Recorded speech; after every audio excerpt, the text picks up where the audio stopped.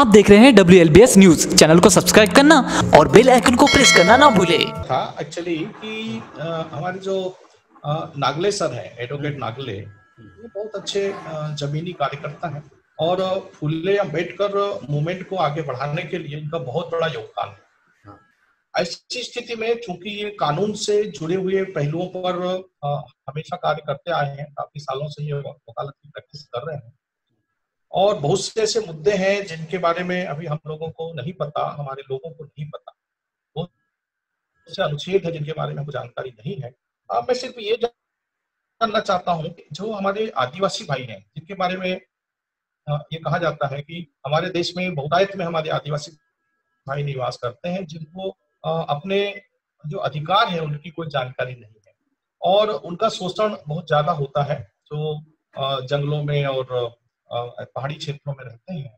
तो ऐसे समय में उनकी कई बार ज़मीन हड़प ली जाती है, उनको पता नहीं होता है और उनका जो शोषण होता है। तो हमारे संविधान में उनको क्या अधिकार दिए गए हैं, किस तरह के अनुच्छेद हैं और क्या क्या उनको अधिकार दिए गए हैं, कृपया हमारे दर्शकों को बताएँ। जी सर। आदिवासी जो अनुसूचित जनजाति वर्ग है, एक ऐसा वर्ग है हमारे देश में, जो काफ़ी लंबे अरसे से विशेष तौर पर नदी नालों के किनारे में निवासरत रहा है। और जीवन के हर क्षेत्र में आगे बढ़ने के उन्हें अवसर नहीं मिले। लेकिन वे जल, जंगल और ज़मीन का संरक्षण करते आए और उनकी संस्कृति अलग है। उनका उनकी रहन सहन अलग है, उनकी बोली भाषा अलग है और वे भोले भाले होते हैं। आज और अंधविश्वास से काफ़ी हद तक वो दूर होते हैं, क्योंकि प्रकृति के वो पूजक हुआ करते हैं। ये तो बाद में ऐसी स्थिति आई कि वो कुछ अंधविश्वास की व्यवस्था में फंस गए। लेकिन जब हमारे देश के संविधान की निर्मित हुई, उस समय बाबा साहब अंबेडकर ने ऐसे वर्ग के लोगों का विशेष ध्यान रखा और संविधान में जो उनके लिए व्यवस्था की गई है, अनुच्छेद 244 के तहत जो उसको ध्यान में रखते हुए पांचवी अनुसूची विशेष तौर पर उनके लिए जो संविधान में व्यवस्था की गई है, जिसके तहत जो अनुसूचित जनजाति के बाहुल्य वाला जो क्षेत्र है, ऐसे क्षेत्रों में ये व्यवस्था लागू होगी और ये राष्ट्रपति को इसका अधिकार दिया गया है कि राष्ट्रपति ऐसे क्षेत्रों को चिन्हित करवाए कुछ क्षेत्र को बढ़वाए और जहाँ ऐसे क्षेत्र का चयन हो जाता है कि जहाँ अनुसूचित जनजाति बाहुल क्षेत्र है, ऐसे क्षेत्र में, जिस क्षेत्र में ये लोग निवास करते हैं, उस क्षेत्र में, चाहे वहाँ की खनिज संपदा हो संपदा हो, चाहे वहाँ के वनोपज हो, वहाँ के सारी की सारी व्यवस्था अनुसूचित जनजाति के लोग ही उसको संचालित करेंगे। ऐसी व्यवस्था पांचवी अनुसूची में दी गई है।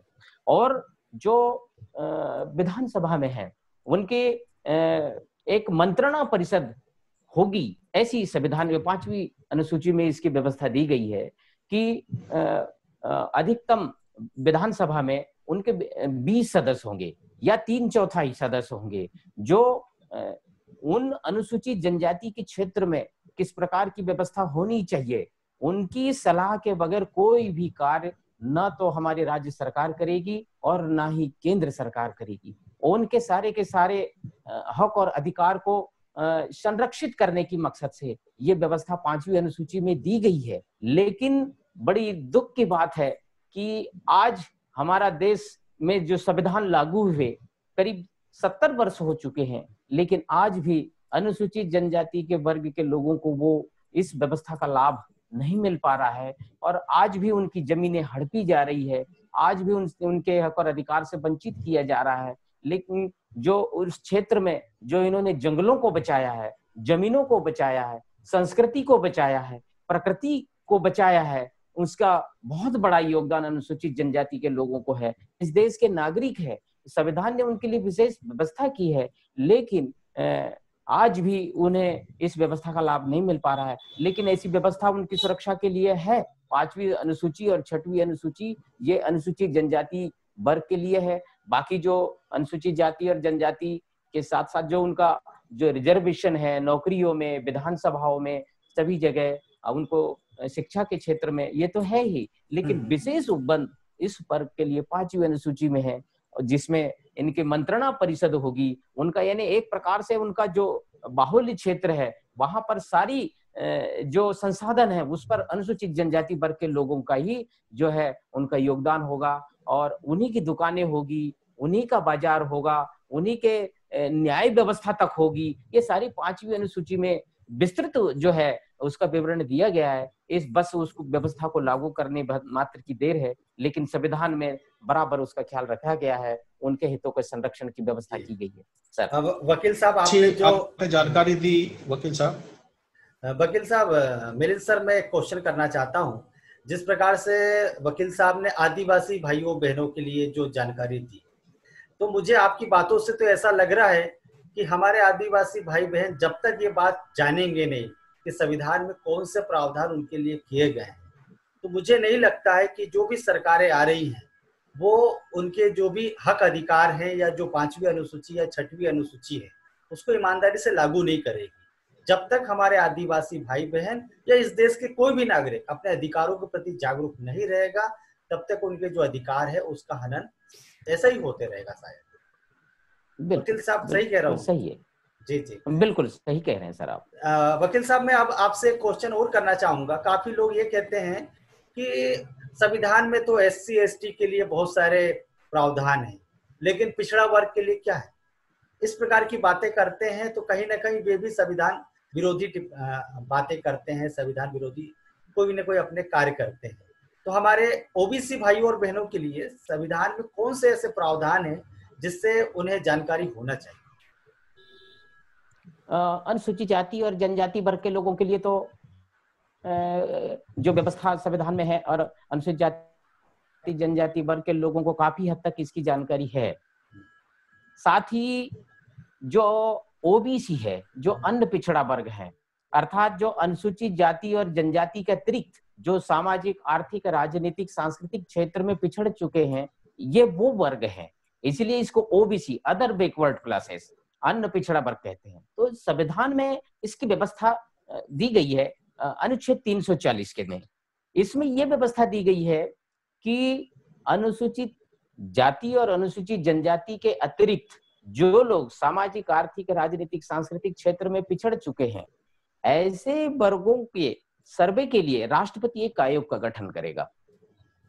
और वो आयोग उसका सर्वे करेगा और सर्वे करने के पश्चात उनकी उनको सूचीबद्ध करेगा, उसकी सूची तैयार करेगा और उसको, उन वर्गों को, इन सभी क्षेत्रों में आगे बढ़ने के लिए क्या व्यवस्था की जानी चाहिए, उसकी सिफारिश जो है केंद्र की सरकार को अपनी रिपोर्ट प्रस्तुत करेगा और केंद्र सरकार जो है इसको लागू करेगी। इसकी शुरुआत पंडित जवाहरलाल नेहरू जो हमारे देश के प्रथम प्रधानमंत्री थे, उनके समय में इसकी शुरुआत हुई थी। उस समय बाबा साहब अंबेडकर हमारे भारत देश के प्रथम कानून मंत्री थे और उन्होंने जो है इस पर बल दिया था, जो उन्होंने व्यवस्था की थी संविधान में। क्योंकि ये व्यवस्था संविधान में बाद में इसलिए उन्हें करनी पड़ी कि 1932 में जब अनुसूचित जाति और जनजाति के लोगों की सूचियाँ तैयार की गई थी, जब साइमन कमीशन आया था, और साइमन कमीशन के सहयोग से बाबा साहब अंबेडकर ने जो सूचियाँ तैयार की थी, उस समय ओबीसी के वर्ग के लोगों के लिए भी सूची तैयार हुई थी। लेकिन उस समय बाबा साहब अंबेडकर का विरोध हुआ था, और ओबीसी के भाइयों ने जो है जो है उस सूची में से अपने नाम दर्ज करने से इनकार कर दिया था। तो केवल दो सूचियाँ रह गई थी, जो अनुसूचित जाति और जनजाति की जो सूची है, वो 1932 की है। तो जो काम छूट गया था, वो संविधान बनाते समय, हमारे देश के स्वतंत्र होने के बाद बाबा साहब अंबेडकर ने उस काम को बखूबी निभाया अनुच्छेद अनुच्छेद 340 में उसकी व्यवस्था की। तो उस व्यवस्था के तहत जो है, पहला आयोग गठित हुआ था, काका कालेलकर आयोग। और काका कालेलकर आयोग ने उसका सर्वे किया, उनकी संख्या आई और ओबीसी के भाइयों की। जैसा कि हमारे अनुसूचित जाति के भाइयों की जो संख्या है उस समय पंद्रह प्रतिशत, हमारे अनुसूचित जनजाति आदिवासी भाइयों की साढ़े सात प्रतिशत और ओबीसी के भाइयों की संख्या बावन प्रतिशत उस समय आ चुकी थी। तो काका कालेलकर आयोग ने उसका सर्वे किया और उनको जो है प्रथम श्रेणी, द्वितीय श्रेणी, तृतीय श्रेणी में जो उनके आरक्षण की व्यवस्था सिफारिश जो है उन्होंने की थी, लेकिन उस रिपोर्ट को लागू नहीं किया गया। और चूँकि बाबा साहब अंबेडकर उस पर बल दे रहे थे, लेकिन उन्नीस सौ छप्पन को हमारे बीच से अलविदा हो गए, उनका परिनिर्माण हो गया। लेकिन तो उसके बाद में वो रिपोर्ट जो है ठंडे बस्ते में डाल दी गई, उस पर कोई काम नहीं हुआ। लेकिन दूसरी बार, जब हमारे देश में जनसंघ की सरकार बनी थी और मुरारजी देसाई उस समय प्रधानमंत्री बने थे। उस समय कुछ ओबीसी के भाइयों को कुछ उसकी याद आई कि काका कालेलकर आयोग है, उसको लागू कराना चाहिए। तो कुछ मांग उठी। तो जब उन्होंने मांग उठाई तो उस समय फिर जो तत्कालीन जो सरकार थी हमारी केंद्र की तो उन्होंने कहा कि नहीं, ये रिपोर्ट पुरानी हो चुकी है इसके लिए नया सर्वे कराना पड़ेगा। तो उसके पश्चात जो है उन्होंने नया जो आयोग गठित किया जिसे मंडल आयोग के नाम से जानते हैं।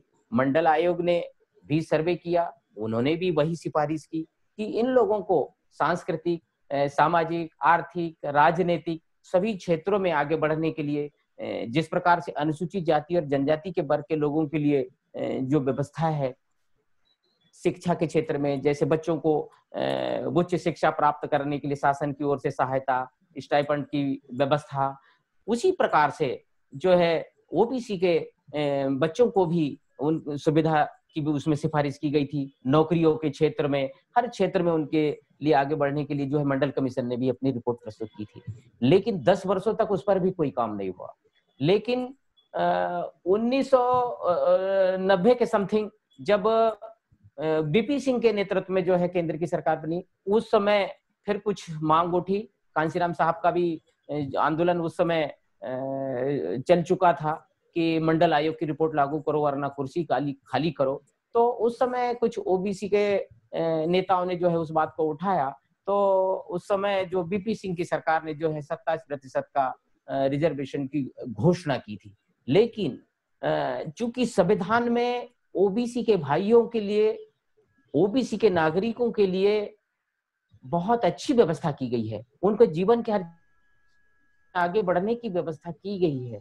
लेकिन चूँकि वो बावन प्रतिशत है, लेकिन केंद्र सरकार ने उसको सत्ताईस प्रतिशत की घोषणा की और हमारे मध्य प्रदेश में तो चौदह प्रतिशत की जो उसको रिजर्वेशन दिया गया तो मंडल आयोग की रिपोर्ट भी पूरी तरह से लागू नहीं हुई। साथ ही चूँकि हम मध्य प्रदेश से हैं, मध्य प्रदेश में भी इस संवैधानिक जो व्यवस्था है, अनुच्छेद 340 के तहत जो है, यहाँ पर भी एक आयोग गठित हुआ था। जिसे हम महाजन आयोग के नाम से जानते हैं। जो रामजी महाजन जो मंत्री हुआ करते थे उस समय की सरकार में तो महाजन आयोग ने भी ओबीसी के, का सर्वे किया था और उनके लिए जो भी ये सिफारिश की थी सरकार से तो इस प्रकार से जो संविधान में ओबीसी के भाइयों के लिए जो व्यवस्था है, वो बिल्कुल साफ़ सुथरी है। उन संविधान में उनको आगे बढ़ने के अवसर है। लेकिन जो आज ओबीसी को उसका लाभ इसलिए नहीं मिल पा रहा कि कुछ निहित स्वार्थों के तहत जो हमारी जो सत्ता पर पहुँचे हुए लोग हैं, सरकारें हैं, उनको, उनकी नियति में खोट होने की वजह से उसको लागू नहीं कर पा रहे हैं। और उन पर जो क्रीमिलियर की जो व्यवस्था की गई है, क्योंकि जहाँ ओबीसी की बात है, जैसे हम अनुसूचित जाति, जनजाति के लिए अगर कोई उनके संविधान में व्यवस्था है तो उसको लाभ प्राप्त करने के लिए हमको जाति प्रमाण पत्र की आवश्यकता होती है। तो जिसका जाति प्रमाण पत्र होगा, वही उसका लाभ प्राप्त करेगा। तो ओबीसी के भाइयों को भी, जो उनके हितों के संरक्षण के लिए जो व्यवस्था संविधान में है, उसका लाभ प्राप्त करने के लिए उनको जाति प्रमाण पत्र की आवश्यकता होगी। लेकिन वो जो क्रीमिलियर की व्यवस्था जो लागू कर दी गई है, जिसमें आय की सीमा उसमें निहित कर दी गई है तो उससे न तो उनका जाति प्रमाण पत्र बन पाता है और न ही जो उनको जो संवैधानिक जो लाभ है, वो उन्हें प्राप्त हो पाते हैं। इसकी वजह से जो है उन्हें आगे बढ़ने में थोड़ी दिक्कतें पैदा हो रही हैं। लेकिन संविधान में ही उनकी उनके लिए व्यवस्था है। ये संविधान उनके लिए बहुत ही हितकारी है। तो हमारे ओबीसी के भाइयों को भी समझना चाहिए जानना चाहिए। संविधान में ही उनके हक और अधिकार सुनिश्चित है और संविधान उनके लिए संरक्षण प्रदान करता है। ये व्यवस्था संविधान में दी गई है सर। मिलिंद सर आप कुछ पूछना चाहते हैं? मिलिंद सर आप कुछ जी सुरेश सर। मैं ये जानना चाह रहा था कि हमारे जो एडवोकेट नागले सर हैं ये बहुत ही अच्छे जमीनी कार्यकर्ता हैं और संविधान की बड़ी गहराई से इनको जानकारी है और ये काम भी कर रहे हैं और लोगों को जागृत भी कर रहे हैं। राष्ट्रीय पारिवारिक धर्म संगोष्ठी के माध्यम से संविधान जागरूकता अभियान ये चलाया जाता है और गाँव गाँव में जाकर के और लोगों को जागृत करने का ये प्रयास हमारे आदरणीय वकील साहब करते हैं। नागले नागले साहब। मैं ये जानना चाहता हूँ नागले सर की हमारी जो दर्शक है उनको ये बताएँ कि बहुत से लोग कहते हैं कि संविधान की जड़ें ये बौद्ध धर्म में छिपी हुई तो ये कहाँ तक सही है और क्या इसके पीछे तथ्य है? कृपया हमारी जानकारी के लिए हमारे दर्शकों की जानकारी के लिए बताए। तो ये बात तो मिलित सर ये बात तो आप ही कहते हैं। हाँ मैं भी बताता हूँ पर मेरी जो बातें पूरी पुख्ता हो जाए सबूत मिल जाए मुझे कुछ वकील साहब के माध्यम से यही मैं चाह रहा था। जी जी। जी सर। जो आपका प्रश्न है बिल्कुल सही है क्योंकि जो तथागत गौतम बुद्ध का जो धम्म है जिसे हम बुद्ध धम्म और संघ जो तथागत गौतम बुद्ध के धम्म में जो जो उनका दर्शन है जो उनका मार्ग है इसी आधार पर जो हमारे देश का संविधान निर्मित हुआ है। आप देख रहे हैं डब्ल्यूएलबीएस न्यूज़ चैनल को सब्सक्राइब करना और बेल आइकन को प्रेस करना ना भूले।